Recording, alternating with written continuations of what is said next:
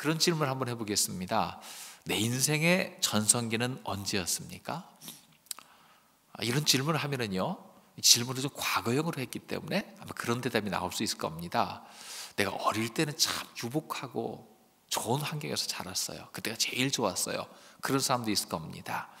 어떤 사람은 아, 청년기에 내가 참 날곡이었죠. 나를 좋아하는 사람도 많고 따르는 사람도 많았습니다.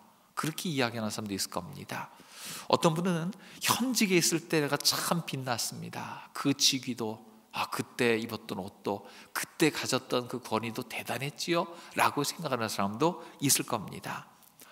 근데 질문을 그렇게 해서 그렇지요? 질문을 다시 한번 해보겠습니다. 내 인생의 전성기는 언제일까요? 아 그러면 여기서 제가 원하는 대답이 따로 있습니다. 언제였습니다가 아니라 지금이 최고입니다. 그 대답을 듣고 싶은 겁니다 지금 비록 여러 환란 가운데 있다 할지라도 잘 보면 지금까지 온갖 경험을 통해서 주님의 은혜를 맛보고 여러 가지 인생의 부침을 경험하면서 여기까지 왔는데 지금까지 쌓여진 경험을 인해서 지금이 제일 좋은 시기입니다. 라고 말하는 것이 가장 온전한 대답이 아닐까 싶습니다. 과거보다도 하나님을 더 많이 체험했고 주님의 은혜를 경험해서 이렇게까지 되었기 때문에 지금이 제일이지요. 아니 어떤 분은 여기서 하나 덧붙이 모릅니다. 아직 내 인생의 전성기는 오지 않았습니다. 앞으로 올 겁니다. 왜냐하면 앞으로도 하나님께서 나에게 더 큰 은혜를 베푸시고 더 좋은 사람들을 보내주시고 더 많은 기회를 베푸실 것이기 때문에 지금보다도 내일이 더 낫습니다. 라고 얘기할 때에 거의 정답일 겁니다. 정말 그렇습니다. 내 인생의 최고의 시기는 아직 오지 않았습니다. 지금 당하고 있는 환란도 잠시 당하는 경험일 뿐이고 하나님께서 내 인생에 더 큰 빛을 비추어 줄 줄로 믿으시기 바랍니다. 그래서 미래를 바라보는 신앙이 훨씬 더 성숙하고 신실한 신앙이다. 그렇게 생각해 볼 수 있어요. 이런 사람은 지금 현실이 참 좋아 보이지 않고 어떻게 보면 낙심할 만한 상황임에도 불구하고 그 현실에 넘어지지 않습니다. 그 현실을 딛고 일어설 줄 압니다. 자, 이런 믿음을 가진 사람은 첫 번째로 내 모습을 비추어 보고 나는 어떤 모습인가라는 걸 깨닫는 사람입니다. 한번 생각해 보십시오. 오늘 본문에 우리의 본 모습, 아마 우리 대개가 다 그럴 겁니다. 우리의 본 모습을 무엇으로 비유하겠냐면요. 이사야 42장 3절 말씀에 그렇게 방금 읽어봤지요. 상한 갈대를 꺾지 아니하며 꺼져가는 등불을 끄지 아니하고 진실로 정의를 시행할 것이며 이렇게 나와 있습니다.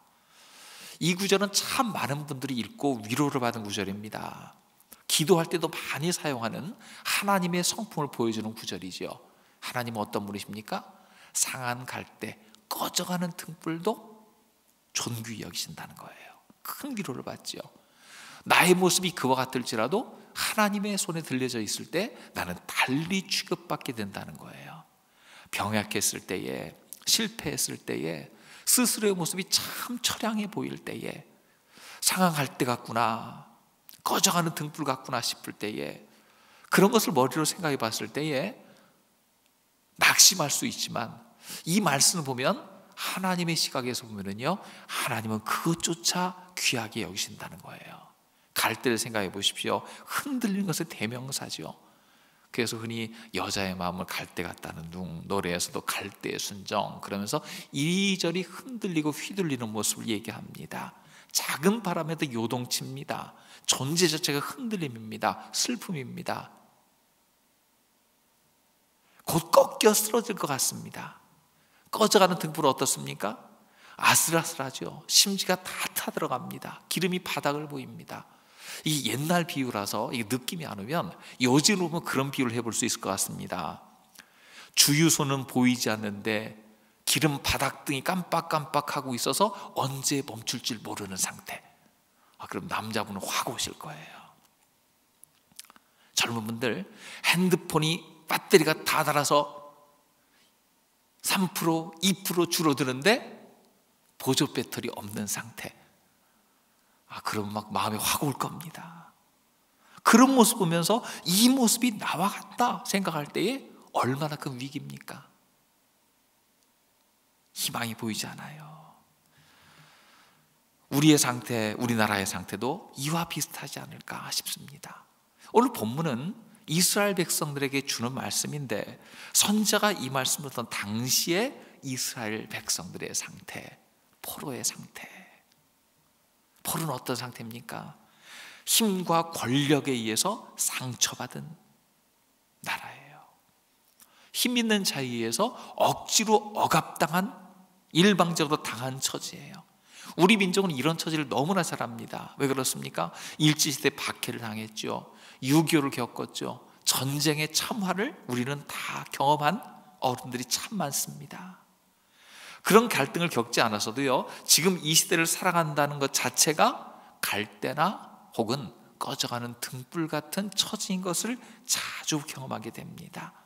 흔들리고 꺼질 것 같은 위기 없이 산 사람이 한 명이라도 있겠습니까? 다 이런 위기를 겪어봤지요. 나이가 들수록 이런 경험이 더 많고 더 자주 대면했을 겁니다. 그리고 상처 받았다는 것을요 뒤집어 생각하면 어떻습니까? 나도 누군가에게 상처를 입히고 살았을 수 있다는 거예요. 상처 입은 사람이 그 상처가 치유되지 않고는요 기필코 누군가에게 또 상처를 주게 되거든요. 그래서 피해자인 동시에 가해자인 경우가 참 많습니다. 나도 모르는 사이에. 요즘 코로나 바이러스가 그렇죠? 무증상 감염. 나는 증상이 없어요. 근데 나 때문에 누군가 감염됐을 수 있어요. 그러니까 나는 원치 않게 피해자면서 가해자가 됐을 수 있습니다. 우리 주변에 그런 사람이 굉장히 많아요. 나는 아무렇지도 않게 행했는데 나 때문에 상처 입은 사람도 꽤 많아요.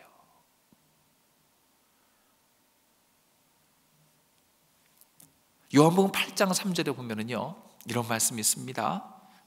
서기관들과 바리새인들이 음행 중에 잡힌 여자를 끌고 와서 가운데 세우고 간음 중에 잡힌 여인입니다. 예수님은 그들의 정죄를 다 들으셨습니다. 그러면서 너희 중 누구든지 죄 지은 적 없는 자, 깨끗한 자, 먼저 돌을 던져라. 나이 든 사람에서 젊은 사람까지 하나둘 다 돌을 내려놓고 사라졌어요. 왜냐면 양심이 확 찔렸거든요. 우리 모두 마찬가지 아닙니까? 누군가를 정죄하면서도 그런 죄가 나한테도 있었는데 싶지요. 누군가 잘못한 것을 지적하면서도 아이고 이 칼날이 나에게도 다가오면 나도 똑같은 사람인데 라는 걸 알고 있습니다. 누군가 상처에 무슨 찌찌찌찌 나쁜 사람 하면서도 그 나쁜 사람 중에 내가 있을 수 있다는 걸 압니다. 당시 사회는 힘의 논리가 지배하던 사회예요. 힘의 논리가 지배하면요 공평과 정의가 숨쉴 수 없습니다. 약자들의 억울한 사연들이 많아집니다.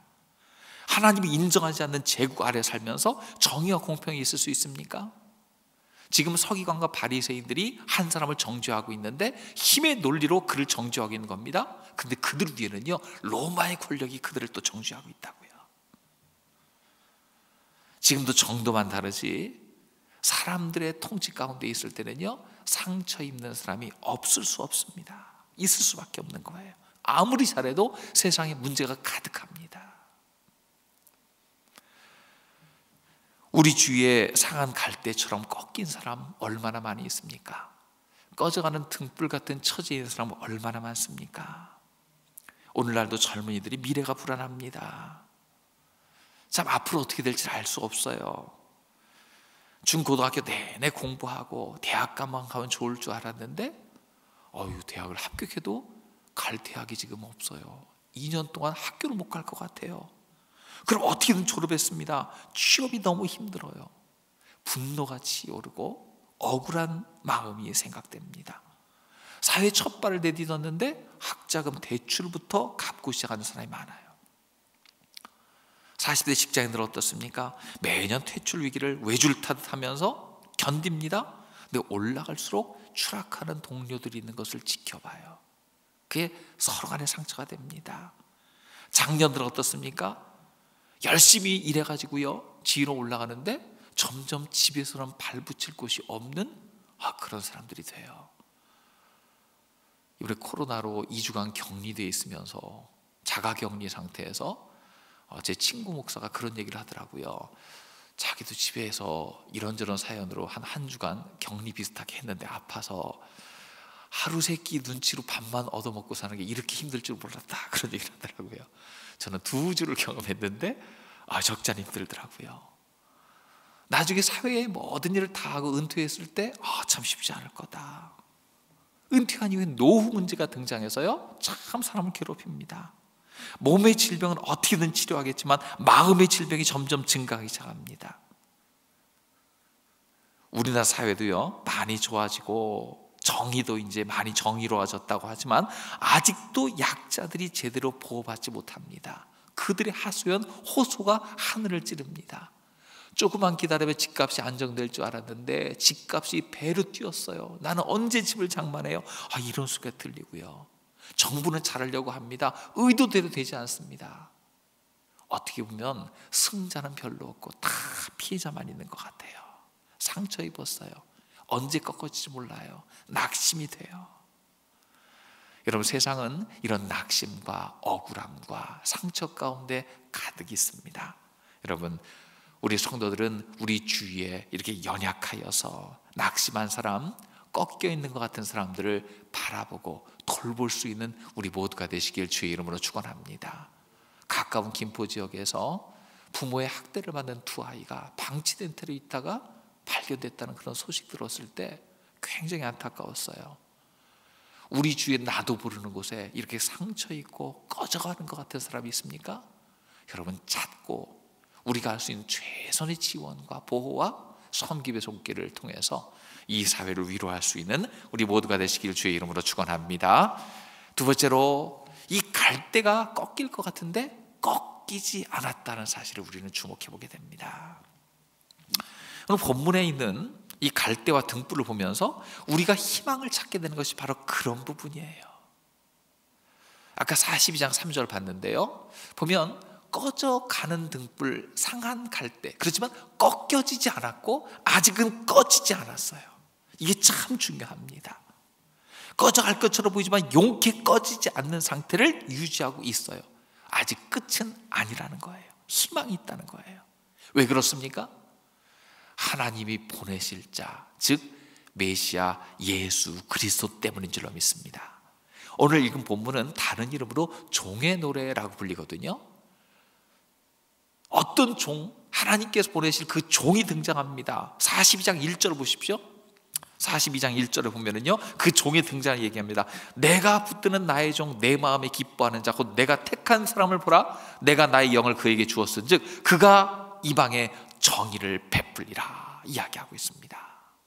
하나님이 예비하신 종이 있다는 거예요.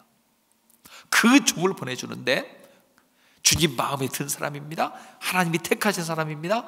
이방 땅에 정의를 베풉니다. 정의로운 사회가 되면요 상처 입은 사람이 사라집니다. 억울한 사람, 원망하는 사람이 사라집니다. 약자의 편에 서서 억울함을 돌보시고 실종된 정의를 찾아주는 분, 그분이 예수 그리스도인 줄로 믿으시기 바랍니다. 구약의 하나님도요, 약자에게 큰 관심을 보이셨어요. 사회의 대표적인 약자인 고아와 과부, 나그네에 대한 특별한 관심을 보이고 계십니다. 공의의 기준으로 보시고 불의를 그냥 지나쳐 버리지 않으시고 약자의 소리를 듣고 계셨습니다. 그분의 아드님이 예수님, 예수님 통일하십니다. 세상에 소외된 사람을 찾아가시고 만져주신 줄로 믿습니다. 모두가 꺼리는 문둥병 환자가 있습니다. 그 질병에 내가 걸리면 어마어마한 천형에 처해지는 것 같았어요. 근데 예수님은요, 일부러 그 문둥병자를 찾아가서 만져서 치유해 주십니다. 모두가 꺼려하는 세리들이 있습니다. 같이 만나고 교제하는 것 자체를 죄악으로 생각했어요. 근데 예수님은요, 그 집에 아예 찾아가서 식사하면서 교제하시면서 그들과 만남을 가져주십니다. 예수님 제자들 보면은요, 출신 성분이 다양합니다. 온갖 종류의 사람들을 거리낌 없이 만나셨습니다. 왜 그렇습니까? 예수님은 그 모든 사람의 몸과 마음을 만져서 치유해 주시기 위해서인 줄로 믿습니다. 상한 갈대 같은 사람, 꺼져가는 등불 같은 사람 소중히 여기셨습니다. 무엇보다도 예수님께서 직접 자신의 삶을 상한 갈대처럼 사셨죠. 기름을 다 태운 등불처럼 사셨습니다. 왕이신 예수님께서 이 땅에 오셔서 군림하지 않으셨습니다. 낮은 데 임하셨습니다. 그리고 십자가 지고 죽어가셨습니다. 그분이 예수님이십니다. 아무도 그를 귀히 보지 않고 조롱하고 핍박하고 찔렀습니다. 예수님은 상한 갈대처럼 되셨습니다. 그의 생명을 빼앗고자 하는 자들의 모의와 악한 정치, 종교 권력자들 앞에서 꺼져가는 등불이 되셨습니다. 그러나 예수님께서는 꺾이고 깨지셨습니까? 꺼진 것 같았습니다. 꺾인 것 같았습니다. 하지만 사흘 만에 부활하셔서 우리에게 산, 산 소망을 더해 주신 줄로 믿습니다. 인간의 모든 죄와 슬픔과 고통을 겪으시고 죽음까지 감내하신 후에 부활하신 예수님 지금 우리에게 말씀하십니다. 나는 내 고통을 안다. 내 슬픔을 체험했다.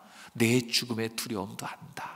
아무도 없는 것 같은 고립무원의 처지 다른 사람은 몰라도 나는 다 겪었다. 예수님 말씀하실 거예요. 우리를 찾아와 위로해 줄 수 있는 예수님, 친히 경험한 것을 우리에게 말씀해 주시는 그 예수님의 손길, 그분의 음성, 그분의 인격을 누리는 우리 모두가 되시길 주의 이름으로 축원합니다.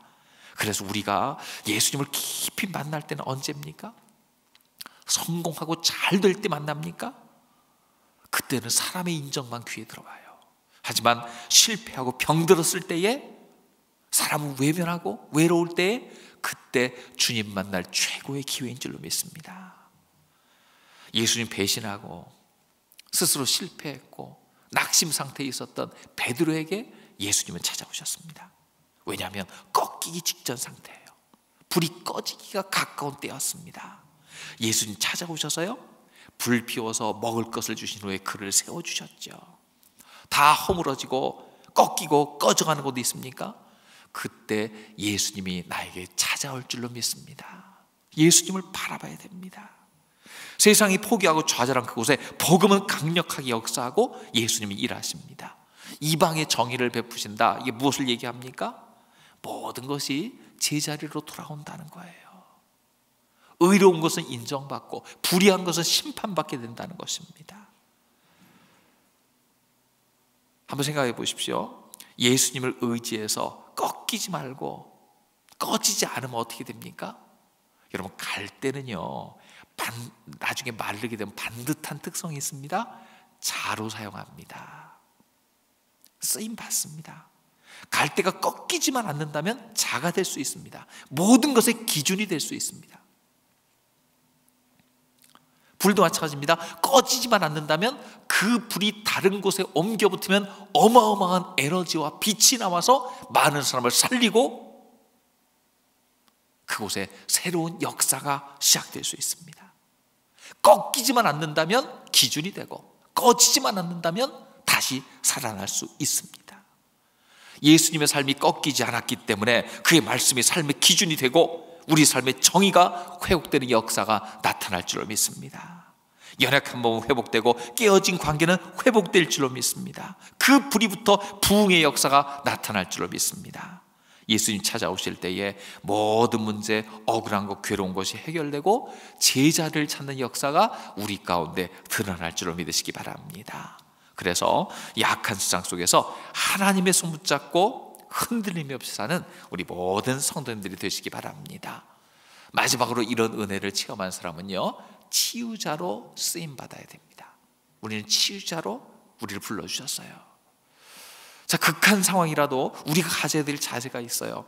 자, 예수님의 모습 고난받는 종으로 묘사하고 있죠. 우리의 연약함 때문에 고난받는 종이 되셨습니다. 하지만 예수님의 고난은요, 격, 결코 꺾이거나 꺼지지 않았어요. 하나님의 보호 가운데 계셨어요. 왜 그렇습니까? 고통과 절망 속에 살아가는 모든 사람들에게 예수님께서 보여주시고 싶은 게 있었어요. 우리도 예수를 믿고 예수님의 손에 붙잡혀 은혜 중에 살면 나의 연약함 때문에 어려움을 겪을 때도 있지만 상처도 받지만 실족도 하지만 신앙생활에 회의를 느낄 때도 있지만 그럼에도 주님 손 붙잡고 있으면 다시 쓰임 받을 수 있다는 것입니다. 열심으로 살며 선을 행할 때 오해를 할 때가 있어요. 모함당하고 생각하지도 않은 구설수에 휘말리기도 합니다.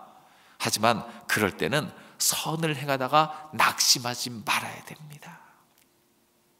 이때가 중요해요. 꺾일 것 같을 때 예수님 바라봐야 됩니다. 꺼질 것 같을 때 주님을 의지해야 됩니다. 그러면 하나님께서 우리를 붙드셔서 넉넉히 이기고 승리할 줄로 믿습니다. 고린도서 4장 8절 9절 말씀입니다. 같이 읽어 보면요. 우리가 사방으로 우겨쌈을 당하여도 쌓이지 아니하며 답답한 일을 당하여도 낙심하지 아니하며 박해를 받아도 버림받지 아니하며 거꾸로 뜨림을 당하여도 망하지 아니하고 이유가 무엇입니까? 하나님이 붙드시기 때문에 그렇습니다. 우겨쌈을 당해도 답답해도 박해당해도 거꾸로 뛰임을 당해도 우리는요 그 속에서 망하지 않습니다. 꺾어질 것 같은 갈대, 꺼질 것 같은 등불 같은 상태일 때 이때가 주님이 역사하실 때인 줄로 믿습니다. 이사의 42장 4절은 이야기하고 있죠. 그는 쇠하지 아니하며 낙담하지 아니하고 세상에 정의를 세우기에 이르리니 섬들이 그 교훈을 악망하리로다. 그리스도인들이 아무리 약해도 그를 끝이다. 실패했다. 이야기하지 말아야 됩니다. 나이 들고 힘없고 알아주는 사람 없어도 결코 낙심하지 말아야 될 줄로 믿습니다. 내가 연약하기 때문에 하나님이 나를 찾아주시고요. 그 예수님 붙들면 그때부터 반전이 일어납니다. 하나님은 약한 자를 들어서 강한 자를 부끄럽게 하시는 분인 줄로 믿습니다. 없는 자를 들어서 있는 사람을 부끄럽게 하십니다. 무명의 사람을 들어서 유명한 자를 부끄럽게 하시고요. 가난한 자를 들어서 있는 자를 부끄럽게 하시는 분인 줄로 믿습니다. 상처 입은 사람이 다른 상처받은 사람을 이해할 수 있어요. 내가 상처받고 힘들었습니까? 여러분 그때는 달리 생각해야 됩니다. 내가 미리 상처받고 힘들었다는 것은 다른 사람을 위로하고 세워줄 수 있는 놀라운 기회와 특권을 얻은 줄로 믿습니다. 2주간 자가격리하면서 깨달은 게 있습니다. 아, 격리 중인 사람을 이렇게 위로해 주면 되겠다라는 게 제 마음속에 여러 가지가 깨달아졌어요. 그래서 하는 말이 있죠. 상처는 사명이다. 이런 말이 있습니다. 상처는 부르심이다. 그런 말도 있습니다. 내가 경험했기 때문에 다른 사람을 도와줄 수 있다는 거예요. 나이가 들어가면은요, 시력이 점점 약해지죠. 팔의 힘도 연약해지고요. 다리에도 약해집니다. 모두가 약해집니다. 이유가 있습니다. 나에게 있는 권력, 힘, 권한 조금씩 내려놓게 하는 것 다 이유가 있습니다. 점점 더 겸손해져서 하나님만 바라보도록 주님께서 역사하시는 줄로 믿습니다.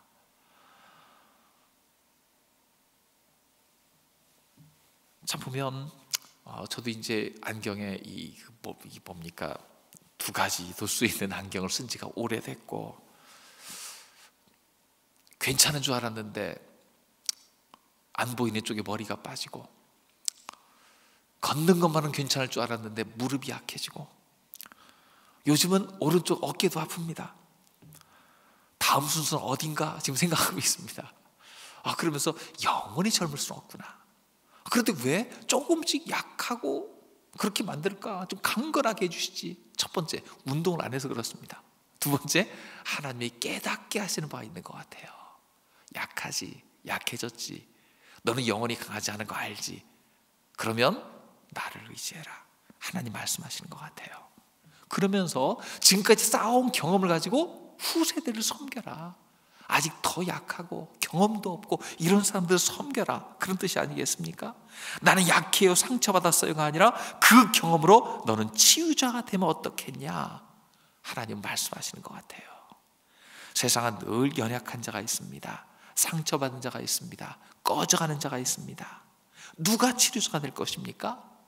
미리 경험한 사람들이 치유자가 되어야 됩니다. 그래서 상처받은 치유자라는 말이 있지요. 내가 상처받았기 때문에 다른 사람을 치유할 수 있다는 것입니다. 여러분, 교회는 천국의 모습을 간직한 세상을 향한 하나님의 전진기지입니다. 교회 생활 속에서 세상을 향해서 치유제를 곳곳마다 공급해 줘야 됩니다. 누가 치유 치유자가 됩니까? 우리가 바로 그 사명자인 줄로 믿습니다. 먼저 믿은 경험 가지고, 먼저 구원받은 그 은혜를 가지고, 먼저 상처 회복한 경험을 가지고, 다음 세대들, 아직 예수를 모르는 사람들을 향하여서 은혜를 베풀기에 부족함은 없는 우리 모두가 되시기 바랍니다. 늘 낮은 데서 섬기며 돕는 것으로 말미암아 하나님 나라를 완성해가는 우리 복된 성도들 그런 교회가 돼야 될 줄로 믿습니다. 오늘 이사에서의 말씀을 통해서 우리 모습을 바라봅니다. 내가 연약합니까? 꺼져가는 것 같고 꺾일 것 같습니까? 주님 의지하면 나를 끝까지 사용하셔서 상처 입은 세상을 향한 하나님의 치유의 도구로 쓰실 줄로 믿습니다. 이 도구로 힘있게 쓰임 받는 우리 모두가 되시기를 주의 이름으로 축원합니다.